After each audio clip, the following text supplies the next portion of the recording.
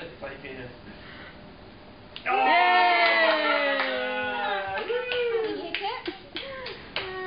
good. Who chose Try get some Topston there. Uh-huh.